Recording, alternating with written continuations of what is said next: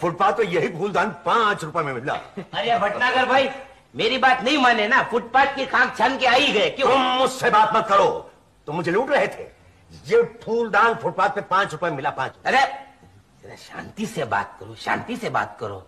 ऊँची आवाज़ में मत बोलो दूसरे ग्राहक पे क्या असर पड़ेगा? मेरे सामने आओगे तो मैं ऊंचाई बोलूँगा। अच्छा भाई अच्छा भाई ठीक है। आप नीचा बोलो मैं जाता हूँ बस। हम्म। हाँ? ये भाई संभालना। हाँ? लूट मचा रखी है। अगर ये ना होता तो मैं तो लूट ही गया था। क्यों? क्योंकि यहाँ कल एक फूलदान पिछहत्तर रुपए का मिल रहा था। आज तीन सौ का हो गया। तीन सौ? एक ही दिन में इतनी लूट। आप नहीं समझेंगे। क्यों? आपका स्टैंडर्ड फुटपाथ का है। आपकी नाक का। कैसे?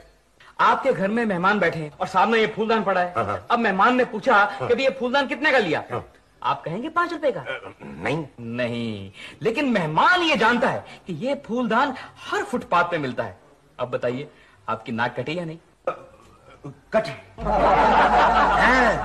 इसीलिए मैं अपना सारा सामान डिपार्टमेंटल स्टोर से खरीदता हूँ। लेकिन जब ये फूलदान फुटपाथ में पाँच रुपए का मिलता है अरे फुटपाथ के फूलदान में स्टोर के फूलदान में कोई फ़र्क नहीं होता? क्या फ़र्क होता है? फूलदान फूलदान है। आपके घर में कुत्ता है? है।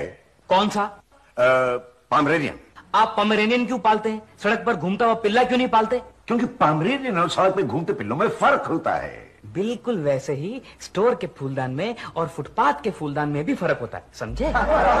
इसीलिए तो मैं अपना सारा सामान डिपार्टमेंटल स्टोर से ही खरीदता हूँ। ये फूलदान फुटपाथ पे पाँच रुपए का मिलता है। अरे पाँच रुपए वाला फूलदान टूट जाता है। अरे टूट तो तीन सौ वाला भी जाता है। तीन सौ वाला नहीं टूटता। जब पाँच वाला टूटेगा तो तीन सौ वाला भी टूटेगा। नहीं टूटेगा। टूटेगा। नहीं टूटेगा। मैं कहता हूँ टूटेगा। नहीं टूटेगा। ठीक है मैं तोड़ कर दिखाता हूँ। दिखाओ। पहले।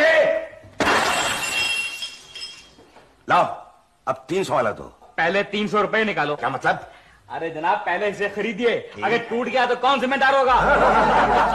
ये तीन सौ रुपए लो और अब तुम्हें दिखाता हूँ ये कैसे टूटता है। एक नहीं नहीं ये, ये तो ये तो मैंने तीन सौ देकर खरीदा था।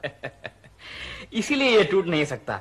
जनाब महँगी चीज़ें टूटने में दुख होता है। और फुटपाथ की चीज़ टूटने से इतना दुख नहीं होता क्योंकि वो सस्ती होती है। इसीलिए मैं अपना सामान डिपार्टमेंटल स्टोर से खरीदता हूँ। भाई तुमने तो मेरी आँखें खोल दी।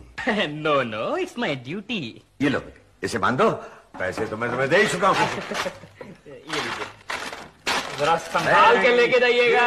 थैंक यू अरे वाह राजा तुम क्या सेल्समैन हो? मेरा जी करता है कि मैं अपना